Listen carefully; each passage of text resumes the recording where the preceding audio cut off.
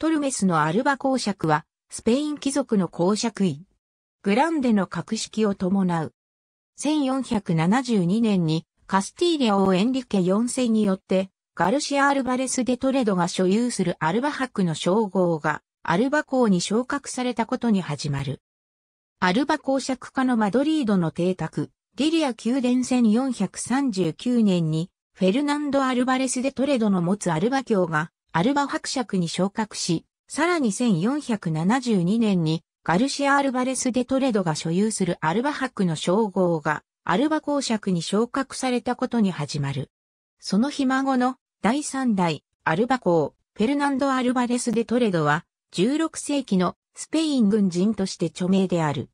スペインをカルロス一世やフェリペ二世に徴用され、プロテスタントの撲滅の戦争に転戦した。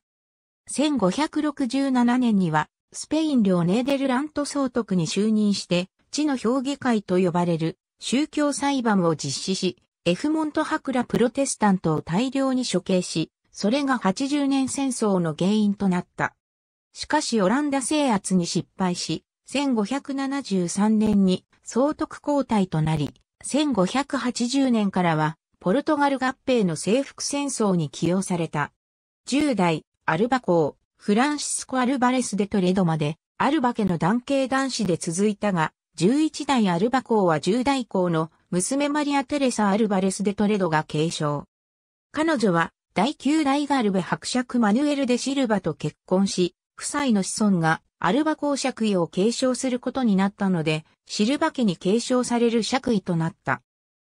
11代女公の娘マリア・デ・シルバは、スチュアート朝のイングランド王ジェームズ2世と、愛称アラベラ・チャーチルの間の諸子である初代ベリック、公爵ジェームズ・フィッツ・ジェームズの直系子孫である。第3代、リリア・ヘリカ公伯母フランシスコ・フィッツハメス・ステュアルトと結婚し、二人のひ孫である第7代、リリア・ヘリカ公爵カルロス・ミゲル・フィッツハメス・ステュアルトが1802年に14代、アルバ公爵を継承したことによって、以降のアルバ公爵位は、フィツハメス・ステュアルト家に継承される爵位となった。スペイン内戦で、アルバ公爵、フィツハメス・ステュアルト家のマドリードの邸宅リリア宮殿は、焼失した。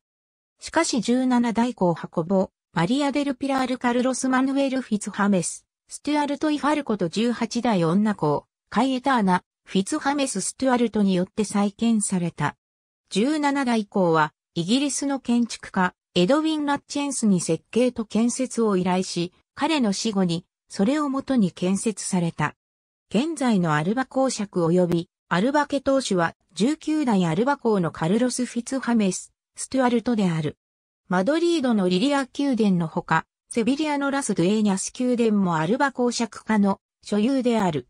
現当主カルロス・フィツハメス・ストゥアルトは以下の爵位を保有している。ありがとうございます。